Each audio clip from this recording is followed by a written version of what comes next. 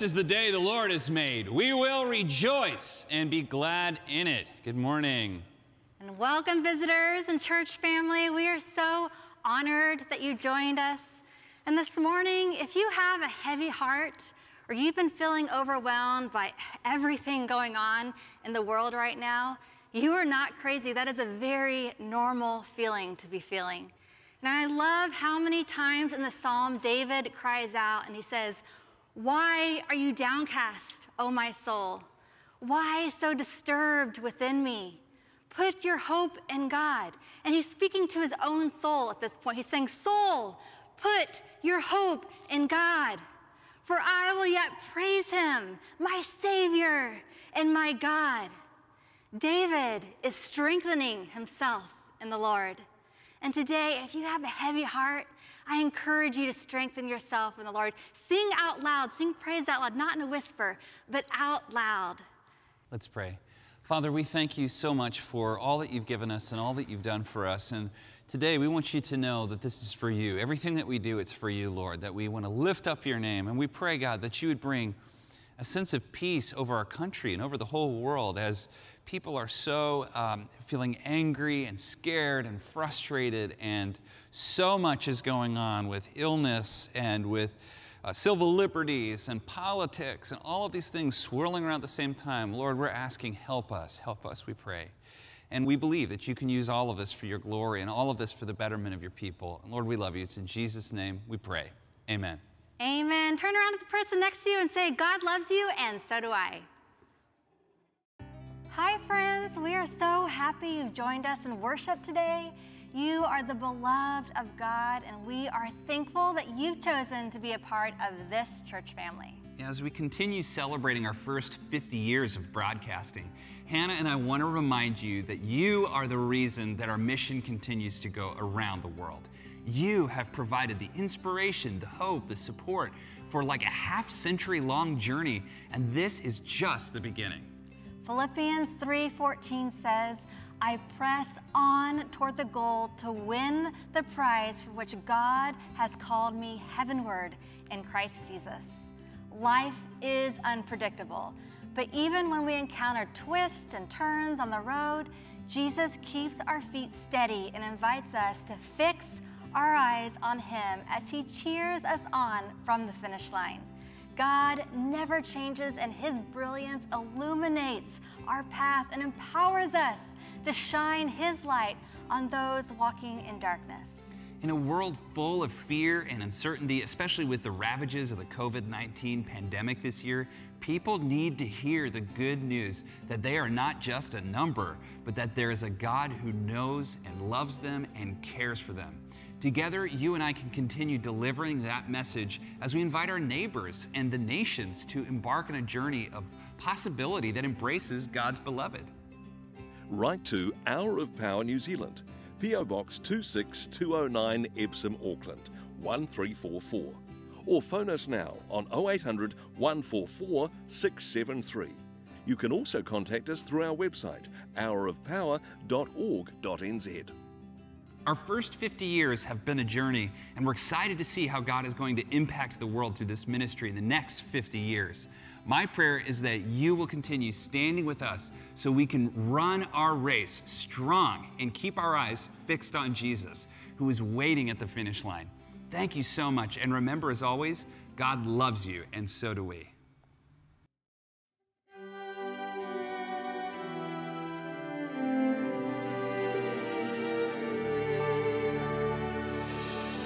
I walk with God from this day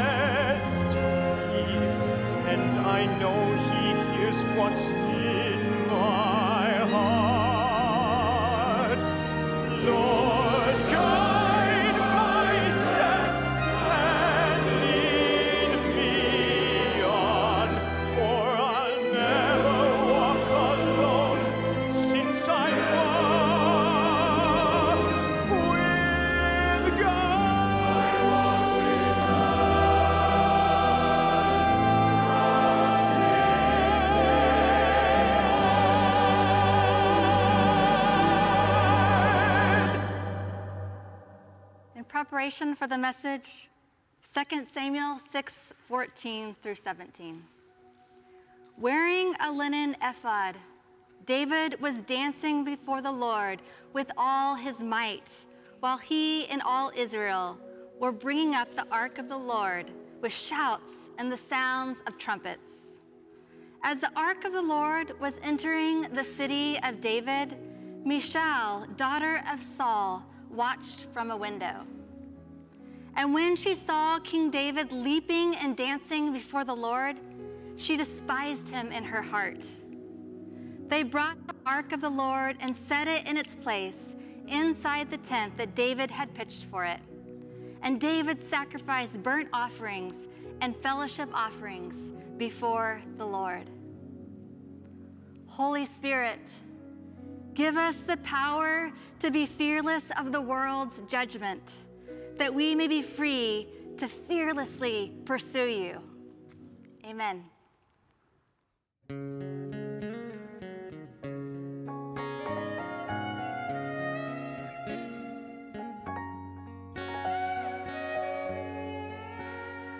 At the mention of his name, walls crumble, lives are. In the midst of life's temptations, he's there to see us through. This man of which I speak is here today for you and me. His name is Jesus, but you can call him as you please. Call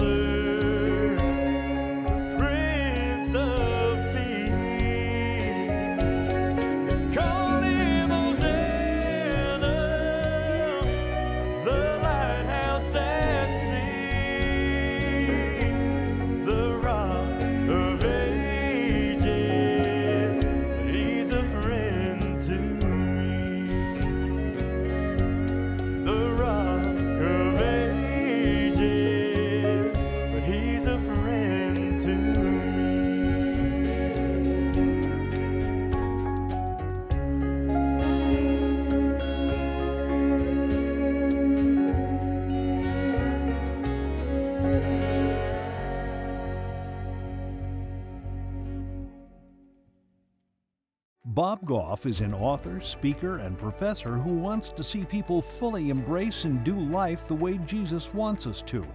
He's also the founder of Love Does, a nonprofit organization that supports human rights in some third world countries. His new book, Dream Big, is based off of his Dream Big Framework workshops, which focus on how we can make our dreams a reality. Please welcome Bob Goff. Bob, hi, welcome. Thank you for joining us today. Thanks a million. Great to be talking to you, Bobby. You live in California, right? I do. I live in San Diego, and we just bought this camp. It used to be called Oak Bridge, but now it's called the Oaks, and we've been working on it for about seven months. It's been a big dream. That's awesome. I, It's been an ambition to create a place. Didn't you to I went there? to Oak Ridge. I did. I went to Indian Village first, and then I went to Oak Ridge afterwards, all through junior high. I kissed my first girl there on the swing under the No, tree. yes, I did. Get out of town. Can I see it? Can you like turn it around and uh, like we can see where you Oh, are? yeah, totally. Come on, get in here. Okay. Yeah. Yeah, I'm going to start scanning That's awesome. for your initials everywhere. Yeah. That is rad. Every oak tree that has your initials on it. Now I know the backstory. That is so cool. So, did you you bought Oak Ridge, didn't you? Yeah, I did. We uh, decided. I uh, my ambition has been to be a grandpa. If I've been since junior high school, since the time you kissed that girl, and uh, but I finally became a grandpa. And uh, what I want to do now is just be available. Yeah. And I think some, there's power in availability, and so that's the way it is with ambitions. You just need to know what you want, why you want it, decide what you're going to do about it. Well, that's cool. We're so excited to have you. You have a lot of big fans on the staff here. So many of us, including me, we love your books. Of course, everybody knows your first book, uh, uh, Love Does, and then the second book, is it Everybody Always? Is that what it's called? Yeah, that's it. So uh, both great, great books, and you're such a great like storyteller. And I, I love how it's. I guess it's a nonfiction book, but it feels like you get wrapped up in your personal story of how to love people. And I just, we just love. I love the balloon thing. You have so many ways that you just bring so much joy and happiness to people's lives. Well, I think that's what uh, what happens. Jesus said he never spoke to anybody without telling them a story, and I know why. Because now, when I'm walking around here, I'm going to be thinking about your experience at Oak Bridge as a junior high kid, and that's the way it is. When we talk, I think Jesus, the smartest theologian ever, and he points to two sheep and he says it's like when one of those gets away, and everybody goes like, "I know exactly what that's like." That is so awesome. Yeah, when it happens. That's great. You know, uh, one question I wanted to ask you. I want to talk about your new book. But before I do, one thing that always is so interesting to me. I mean, for those of you who don't know you, you're a, you you were a, an attorney, a professor, and stuff. But I think you're really well known more as an author now. I mean, and a speaker. But um, you put your cell phone number at the back of every book you write, which is crazy because you've sold. I mean, you've sold millions of books, haven't you? And Yeah, and people, it's like your cell phone. So like if somebody buys your book and they flip to the back and they find your cell phone and they call, there's a good chance you're just going to answer and talk to them. What is It's that like? That must be crazy. Yeah, there was this young guy that called me a little while ago and he said, Bob, I want to know the one thing about relationships. I'm like, you haven't had a girlfriend yet, have you? uh, because there's actually many things. It'd be like asking an astronaut, what's the one thing about getting to the moon? It'd be like, I don't know, arrive.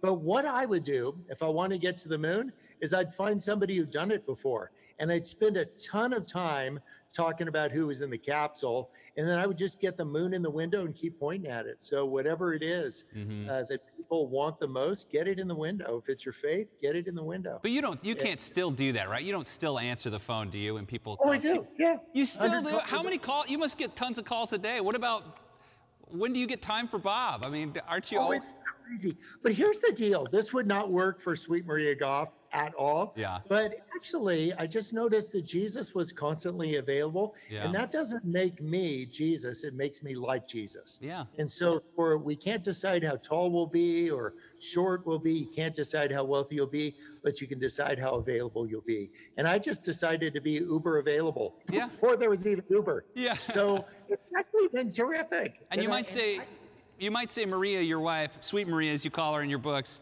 Uh, you might say that she maybe isn't called to do that, but maybe you are. She's called to be available in different ways, but this is a way that I mean, it brings you joy, right? I mean, it's fun for you to do this. Oh, totally. And the crazy thing, Sweet Maria and I, when they said we got married, she finally relented. and uh, and uh, they said the two of us will become one. She thought we were going to become her. I'm like, oh heck no! But here's the deal: I'm not trying to be like her, and she's not trying to be like me. We're trying to be like Jesus. Amen. And for me, I see His availability, and those are the people that have influenced me the most. It wasn't the smartest people, it was the people who were most available. Amen. That's so good, Bob. Thank you. Well, I'm really excited to read your new book. I haven't read it yet. I know it'll be awesome. The first, I read both of your other books, and they're just great. They're so fun and encouraging and inspiring. And uh, this is a perfect title for you. I mean, it's it's a pretty simple title. It's called Dream Big. And where did you? What's the book about? And where did you come up with this idea to write this book? I mean, this is a crazy I- time, you know. I mean, It is. I think uh, so many people are just worn out. Uh, we've been whipsawed. It's going to take a lot of couch time for us to sort all this out. But one of the things that will disappear when you're a little stressed out is your ambitions, your dreams. And I just want to get back to building that rocket ship that was supposed to be your life. Like, Yeah. uh, and sometimes you had a dream. Let's say it was something that you had a ambition for the first 12 years of your life, and then uh, Billy uh, said no. Like you applied for the job or you tried for the the whatever it was that was important to you, and then you feel like you say God shut the door. It'd be like. That did not happen at all. Billy said no. That was the only transaction that happened. So I want to say, what were your uh, beautiful ambitions? And then ask not what do you want, but just why do you want it? Mm-hmm. Because if you want applause, I mean, join the circus. But if you want Jesus, then find people who are hurting. Yeah. And then have these uh, authentic conversations with them. And in taking an interest in their ambition, you'll actually find your ambition. and so this was an ambition of mine. I'm a grandpa now. You know what's crazy? I've got a grandson. He only knows one word apple. and so an apple is an apple. I'm an apple. Sweet Maria is an apple. A car is an apple. I'm hoping by the time he gets to high school, he knows two words. Um, but I want to find more words to describe the things that you've wanted for a really long time. Don't just say, I want to be happy, because me too, but just say, what would make you happy? I mean, really, really, what's going to outlast you? And that's where the good stuff seems to happen. Yeah. When I hear you talking about this, I can think of all of the many people who, you know, grew up in pretty strict religious households and they have this, you know, virtue, and it is a virtue to be humble, to be, you know, a learner. But sometimes some churches go so far with that that they almost like they it's like it's almost bad to dream it's bad to or like you said even use the phrase be happy things like that there's this religious uh, uh, uh, I feel like baggage that a lot of people carry, and they they get a little like when they hear a, a Christian, a pastor, or someone like you say "dream big," they're, they're a little bit like, "Oh, I don't know if that's okay." I mean, what do you say to that as a believer? You know, I mean, I, I'm sure you've experienced that from some folks, right? Oh, yeah. I mean, there'll be some pushback because they don't actually know where we're coming from, like Yeah. what happens. I had some big dreams for some little girls in Afghanistan that the Taliban won't let learn how to read and write because they're girls. And that just ticked me off. So instead of signing a petition, I just started buying tickets to Afghanistan. so I'm in and out of there constantly. And we've got two schools and we're teaching little girls how to read and write. But here's the thing, and I know you guys get this God isn't dazzled when you go across the ocean. What blows his hair back is when you go across the street. Yeah. Love God with your heart, soul, and mind, and love your neighbor right here where you are.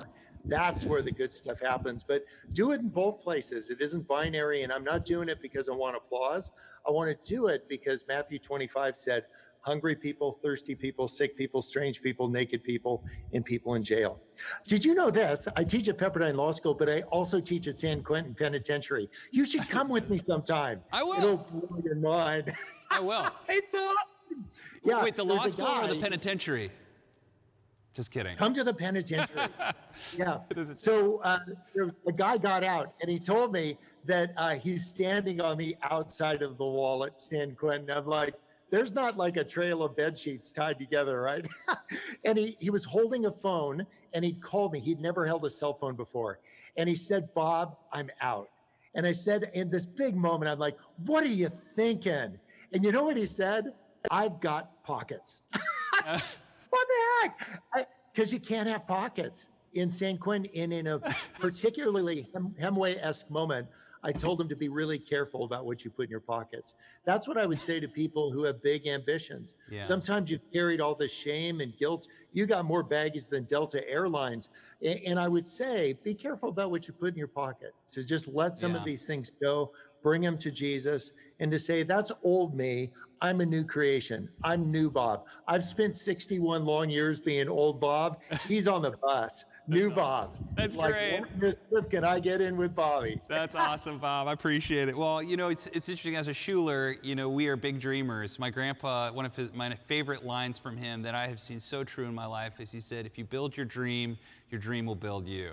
And I think there's really something about that, that, that dreaming brings hope and life to people, especially now when we're all in this lockdown with COVID 19 and all this despair over the abuse of people of color in America. And, and then on the other side, there's sometimes riots and looting, and there's just so much anxiety and worry. It's hard to dream right now. But I think that if we, Amer- if we as Americans of all stripes can, can come together and begin dreaming again and become, become that industrialized, visionary kind of people that I think we are always meant to be, I think that'll make a big difference in people's lives. Yeah, I think we just call that out of one another. I know you do that. You're calling out from people. You're giving them new names. When Peter blow, blew it, Jesus didn't call him a blow it. He said, "You're a rock." Mm-hmm. He said, "I'm going to do this whole thing." And so, to call that dream back out of you, God gave it to you. Let's dust that thing off. See, driving around the block. Amen. Well, the book is called Dream Big, and the author is Bob Goff. And I want to recommend the book is available anywhere books are sold. Go get it today if you need some encouragement. Bob, thank you so much for joining us today. Great to see you. Come on back up here. I will. Thanks again, brother. We appreciate you and enjoy that weather today. All right. See you. Take care. Bye.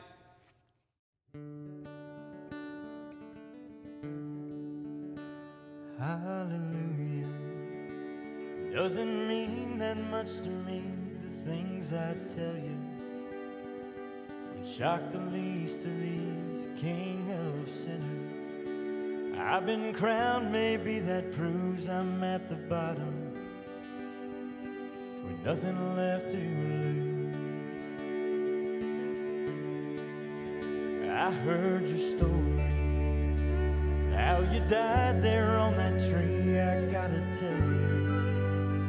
I'm not sure that I believe, still I come. And I'm here just as I am, broken hearted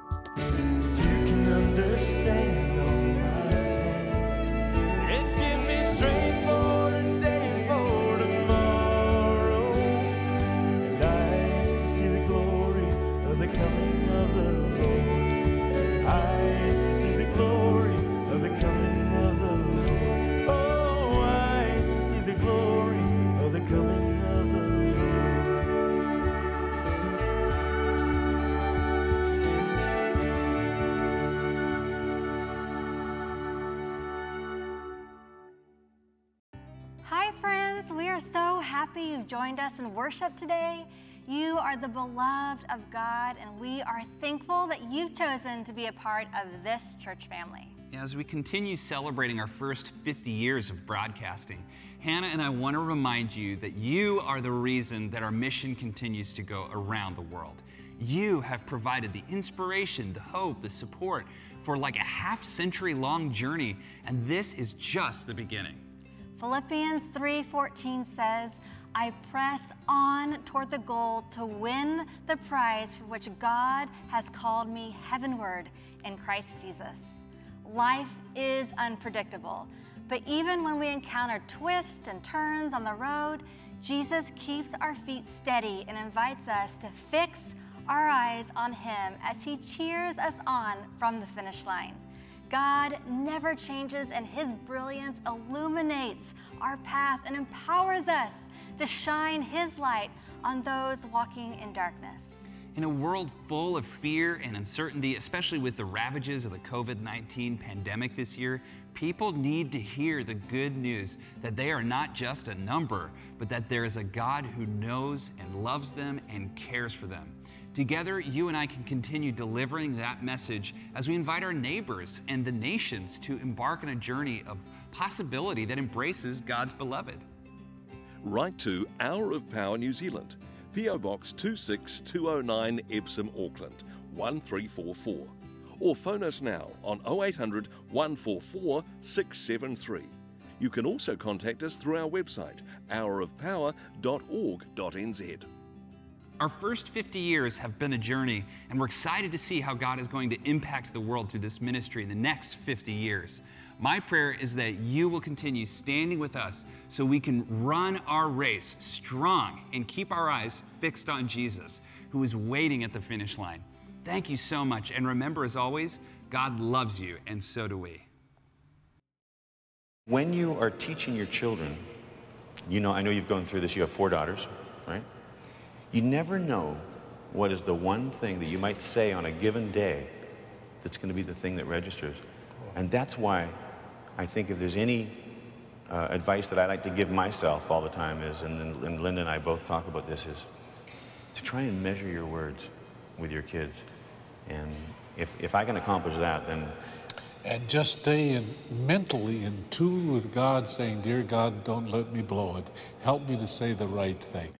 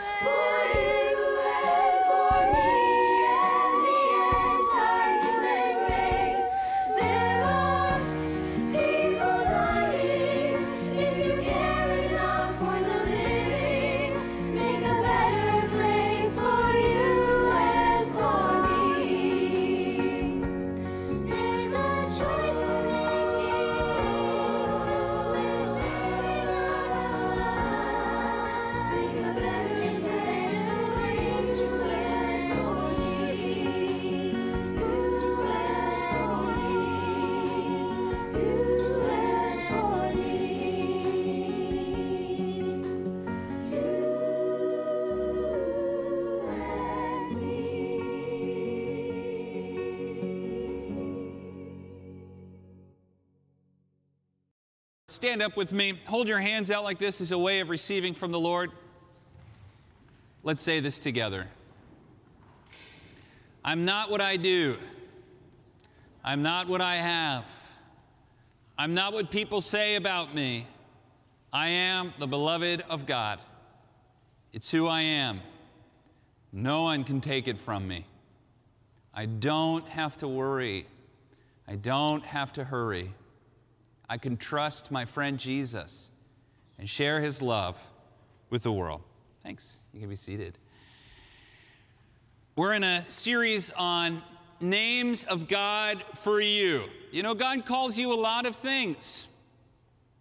He calls you favorite, He calls you beloved, He calls you chosen. He just calls you, calls you to tasks, and calls you to be His soldier, to work on His behalf, His builder, His helper, His messenger. And all of these names we can find through the scripture, and they all inform us about God's posture tor- towards us. That it's a posture of love and care, that it's a posture of kindness and mercy.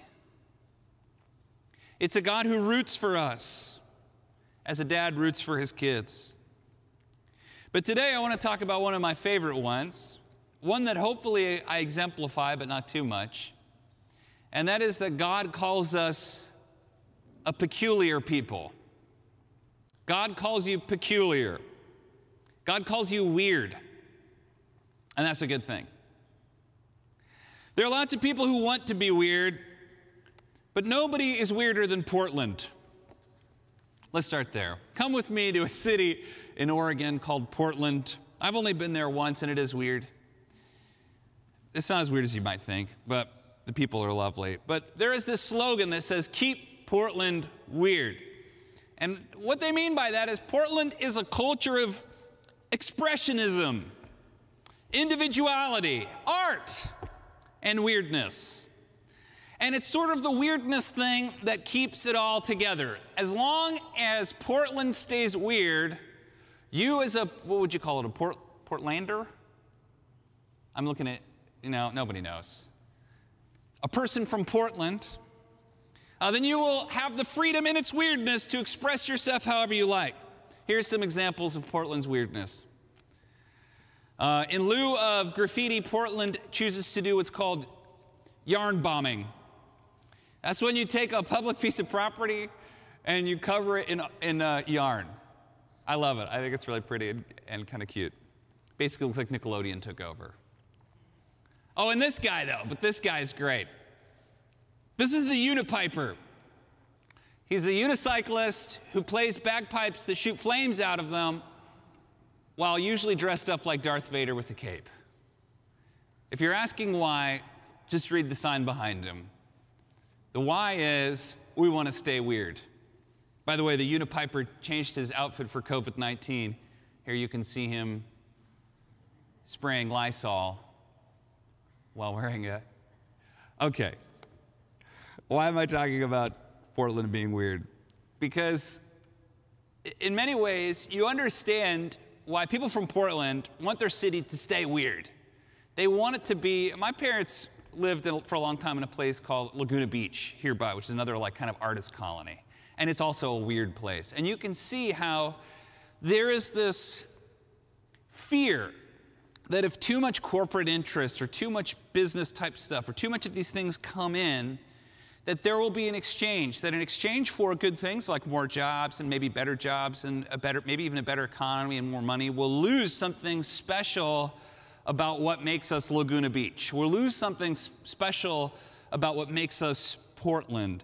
And I think that the church would do well to think in those terms sometimes. After all, God does call us a peculiar people, doesn't He? He calls us a weird people. And yet, so often it feels like the church is becoming less and less weird. It's be feeling more and more normal. And I'm not sure I'm excited about that.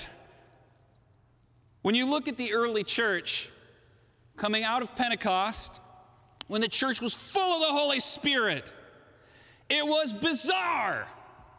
Last week we talked about all of these races and ethnicities and barbarians and Scythian horse riders and Greeks and Gauls and Celts and slaves and all of these people coming into, pouring into the church, loving one another, caring for one another. These are people that weren't even supposed to associate with each other, and here they are gathering and loving and caring for one another. The Roman Empire said of the early Christians all sorts of things. They thought they were cannibals because when they would gather, they would eat the body of Christ. They thought they were incestual because husbands and wives would refer to each other as brother and sister.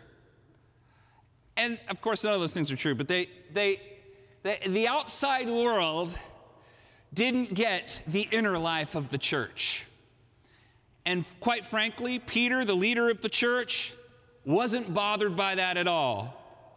That's why he says in 1 Peter chapter 2, but you are a chosen generation, a royal priesthood,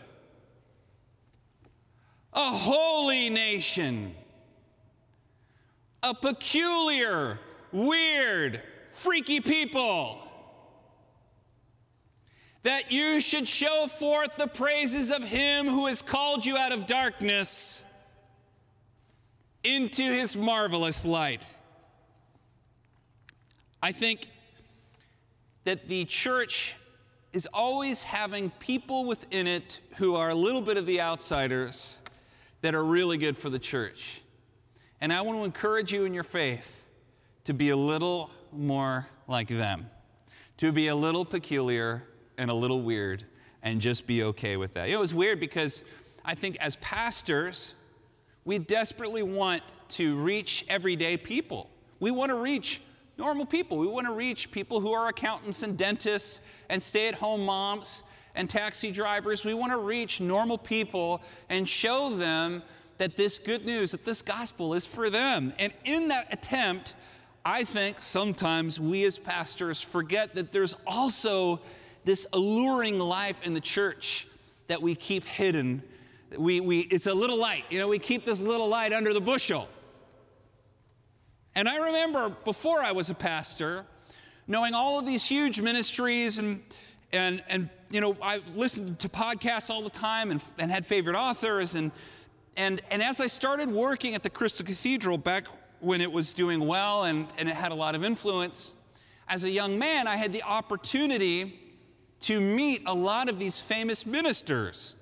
And even now, of course, I especially rub elbows with these guys in various conventions and gatherings and think tanks and stuff all the time. And one of the most surprising things to me was this you basically can take every preacher, priest, minister, pastor, and you can kind of boil them down into one of three groups.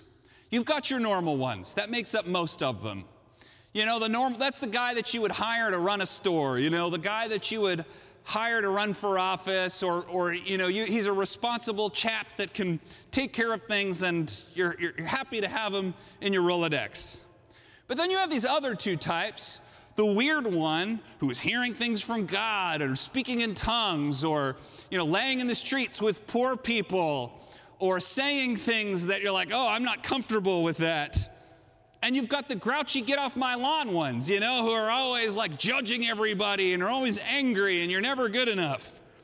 And it was so interesting to meet the guys from these groups in person, behind doors, without any tapes rolling, and what I found was that the weird ones were my favorites. You know what else was a surprise? Well, first, the weird ones, they were the ones that in person seemed truly full of God. They were the ones that if you were in a corner, you want them praying for you.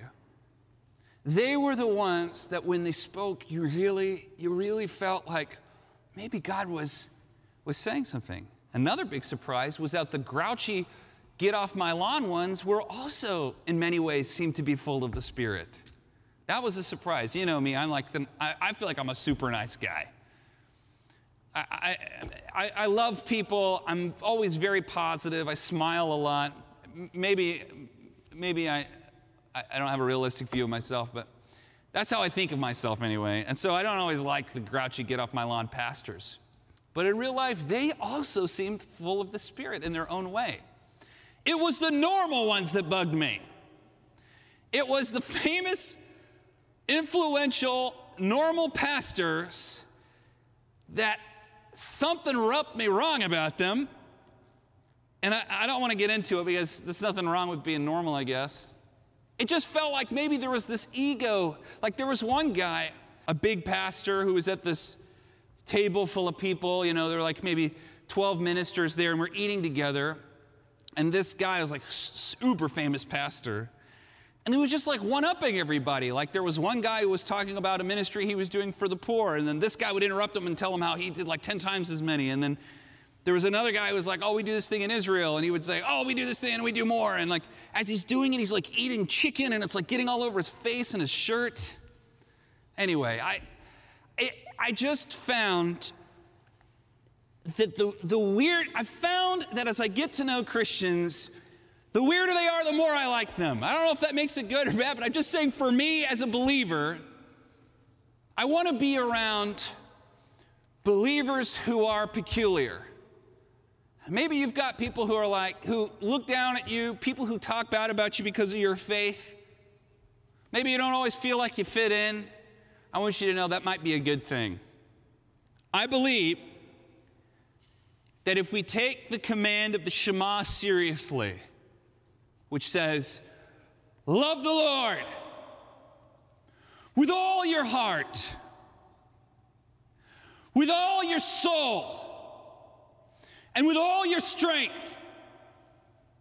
If you love the Lord in this way, some people might find you a little odd.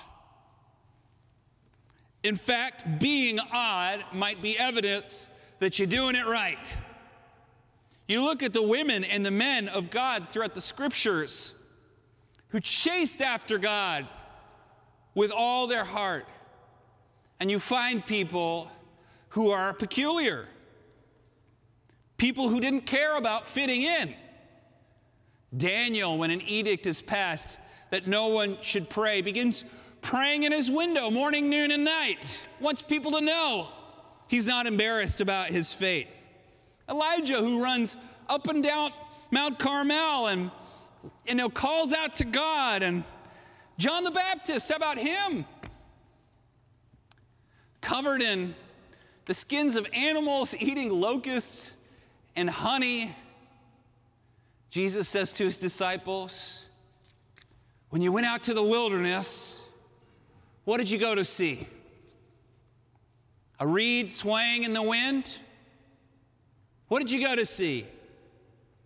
Did you go to see a man and dressed in fine clothes? No, that's for kings.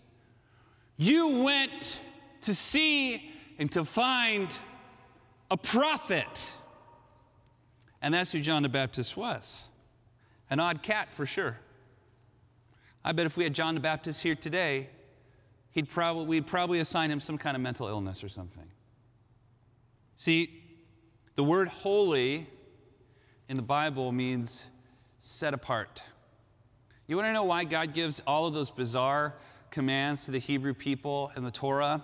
Things like don't mix two types of cloth. Like, who cares? Wh- Who cares if you mix wool and cotton? It's because He wants them to be set apart.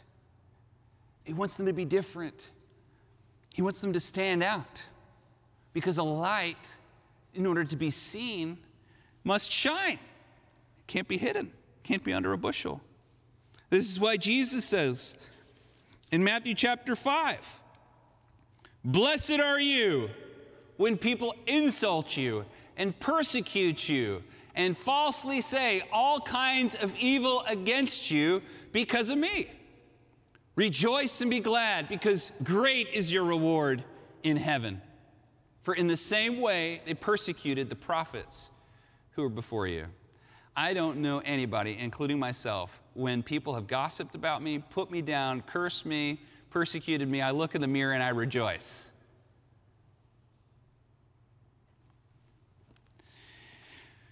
I want you to know the weirder you are, the more I like you.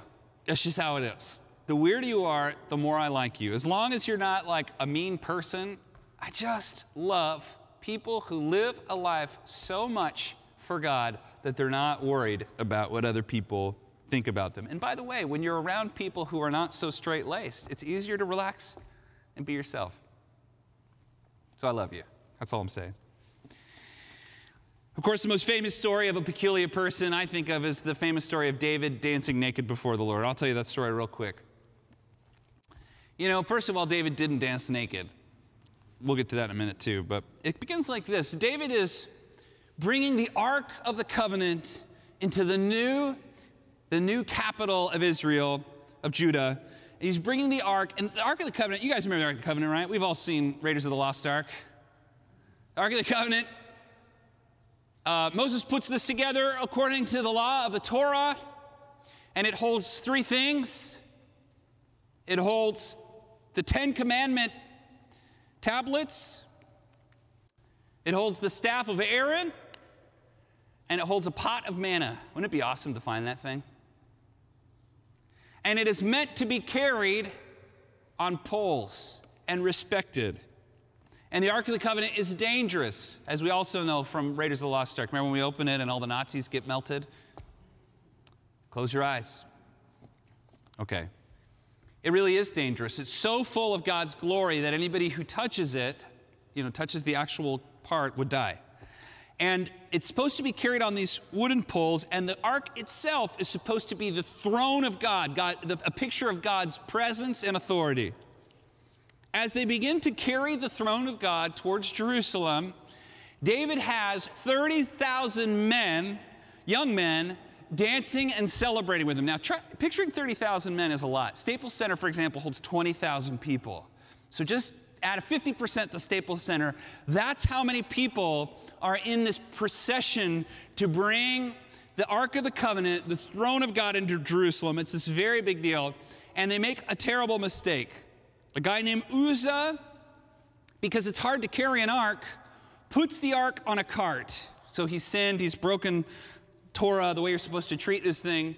And so it's bouncing along the road, and an ox falls, and Uzzah either tries to keep it from falling, but I think the picture actually is more like when you get a cart stuck in a path. Now, again, if they were carrying it, this wouldn't be a problem.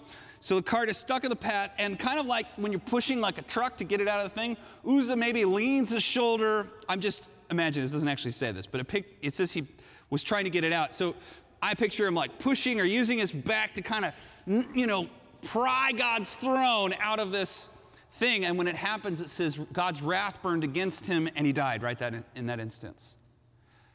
Imagine the air going out of the room when this happens. Everybody's celebrating, there's music, there's celebration, it's fun, and then this guy tries to shove the ark out of a, a pothole or something and dies, someone everybody knows, and everybody freaks out and is terrified.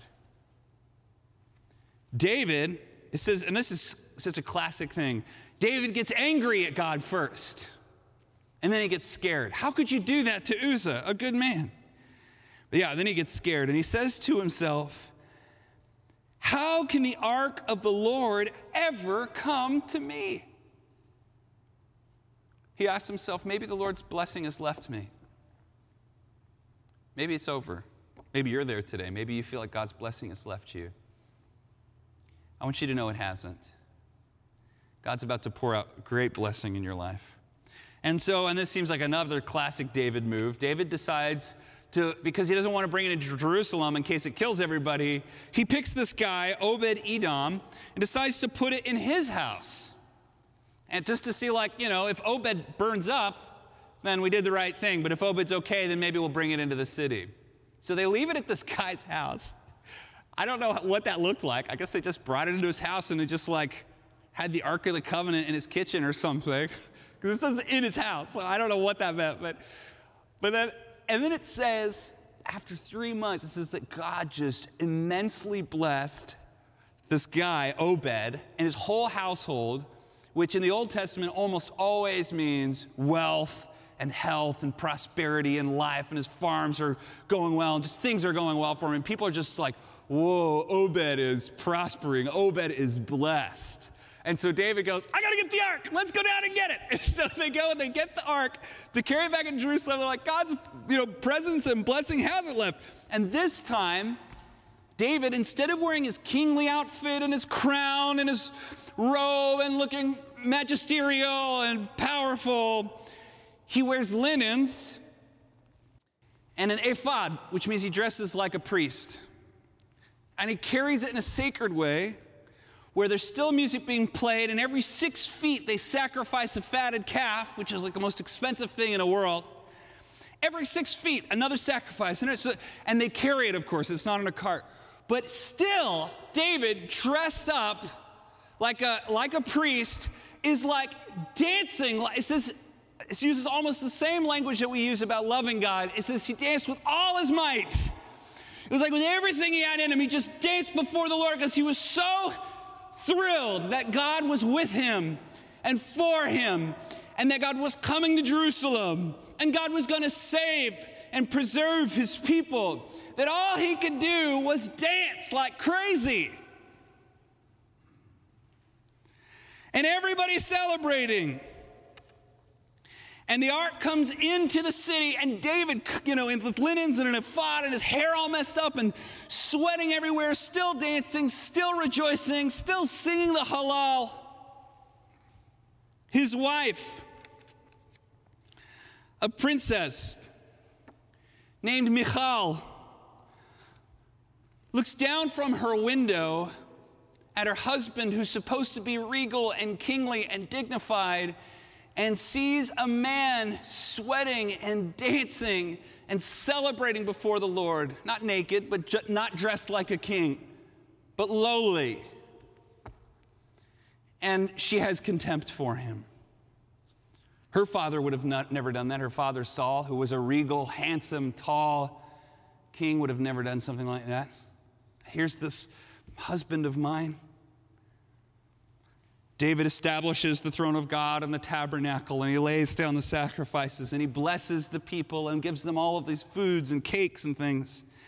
And then he goes up to his own house to bless his children and his wife. And when he enters the house, his wife, with fire in her eyes, says, How the king of Israel distinguishes himself, dancing half naked before the servants like a vulgar man.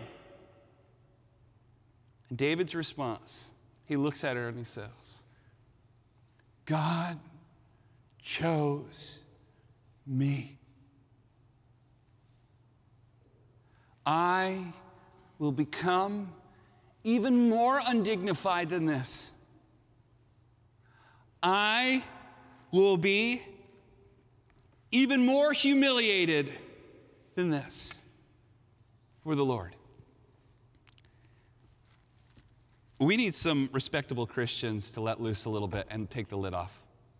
Look, when I talked this morning about this, I'm not encouraging you to be weird as much as I'm encouraging you to love God so much, to live for Him with such fire and such passion and such a desire that you don't care about what other people think. You don't care if other people choose you.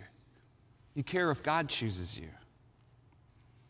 And I think it's this thing that is most alluring about our faith is people that are just overflowing with the Spirit, overflowing with life, and overflowing with love. Don't worry about being weird. Don't worry at all. Just love the Lord with all your heart and all your soul and all your strength, and He'll take care of the rest. Father, we love you. We thank you. I pray for everyone who feels like they don't fit in, like they don't belong. I pray, Lord, that they would just continue to seek after you with all their heart. Lord, we love you and we thank you. It's in Jesus' name we pray. Amen.